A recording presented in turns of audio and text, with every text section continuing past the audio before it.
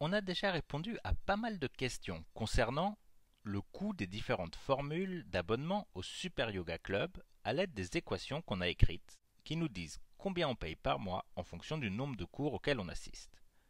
Mais je suis quelqu'un de très visuel et je veux être sûr d'avoir vraiment fait le tour de la question avant de dépenser mon argent dans ce club. J'ai donc envie de me représenter visuellement le lien qui existe entre le nombre de cours que je prends et le coût que je paye pour la formule découverte et pour la formule classique. Pour ça, j'ai dessiné un repère avec un axe horizontal et un axe vertical. Sur l'axe horizontal, je vais représenter le nombre de cours auxquels je vais assister. Et l'axe vertical va me permettre de représenter le coût total que je paye chaque mois en fonction du nombre de leçons auxquelles j'assiste. Comment ça marche? Commençons par la formule découverte. On va tracer le lien entre le nombre de cours et le coût. On a un premier point qui nous dit que si j'assiste à aucun cours, je paye 0. Je vais placer ce point ici, parce qu'il me dit que quand n vaut 0, quand je suis à 0 sur l'axe des abscisses, l'axe horizontal, je dois être à 0 sur l'axe vertical, celui des ordonnées. Maintenant, j'ai un deuxième point qui me dit que pour un cours, je paye 12 euros. Autrement dit, quand n est égal à 1, quand je vais à un cours, mon coût est égal à 12, l'axe vertical doit être sur 12 et l'axe horizontal est sur 1. On peut continuer comme ça. Lorsque n est égal à 2, c est égal à 24, donc mon point est au-dessus du 2 sur l'axe horizontal, sur l'axe des abscisses, et mon point est en face du 24 sur l'axe vertical des ordonnées. Pareil pour 3, 3 cours me donne 36 euros à payer. On pourrait continuer comme ça autant qu'on voudrait, 4, 5, 6, etc. Mais je pense que déjà vous voyez apparaître le schéma qui est que ces points qu'on est en train de tracer, ils sont alignés. Je vais essayer de vous aider à vous en rendre compte en traçant du mieux que je peux la droite qui passe par ces points.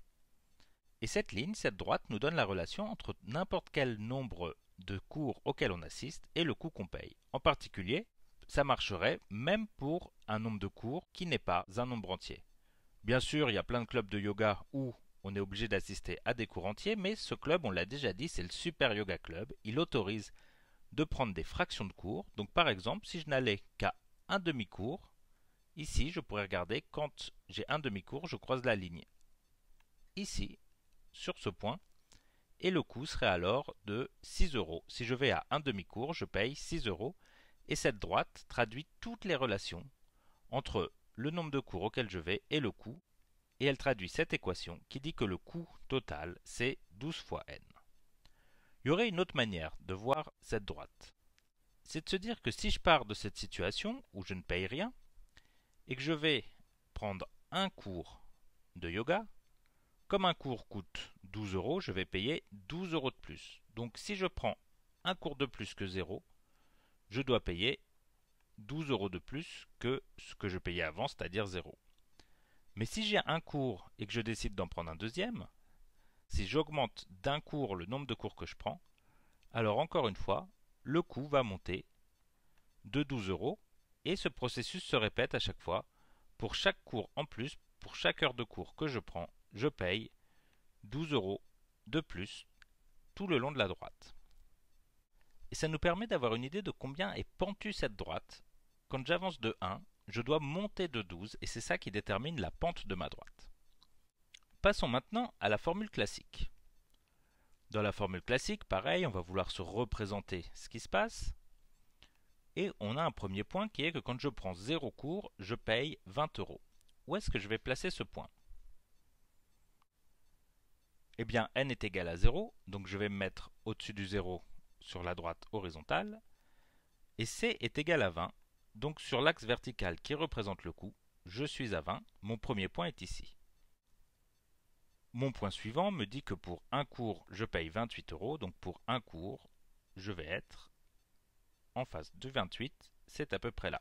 J'aurais aussi pu dire que j'ai payé mes 20, que je paye de toute façon, c'est mon abonnement mensuel, et si je prends un cours de plus, si je me déplace à droite de une unité, que je passe de 0 cours à 1 cours, je me déplace verticalement de 8 unités, je passe de 20 euros à 28 euros. On peut continuer comme ça. Pour deux cours, je vais passer de 28 euros à 36 euros. 36 euros, c'est ce que je paye pour deux cours. J'ai augmenté de 8 le coût de mon abonnement. Pour trois cours, je vais payer 44 euros. Ça me place à peu près ici. Et encore une fois, on observe le même comportement que tout à l'heure, à savoir que ces points-là sont alignés. J'ai fait de mon mieux pour vous tracer la droite qui passe par ces quatre points. On peut voir que cette droite est moins pointue, et c'est pas très étonnant puisque, avec cette formule-là, quand je prends un cours de plus, je monte seulement de 8, tandis qu'avec la formule découverte, pour chaque cours que je prenne de plus, je montais de 12 euros. Je monte donc beaucoup plus avec la formule découverte qu'avec la formule classique. Tout ce qu'on a dit là est déjà très intéressant, et ça nous permet de voir le lien à chaque fois entre le nombre de cours et le coût qu'on paye. Mais là où ça devient particulièrement excitant, c'est quand on voit que ces deux droites finissent par s'intersecter, c'est-à-dire qu'elles se coupent, elles se rejoignent à un certain endroit. Et pourquoi ça, c'est particulièrement passionnant et pourquoi ça va nous dire beaucoup beaucoup de choses sur la formule qu'on va choisir au final, est une question que je vous laisse en suspens pour la prochaine vidéo. Comme ça, vous pouvez y réfléchir un petit peu, et si vous êtes très pressé, je vous rejoins tout de suite dans la vidéo suivante.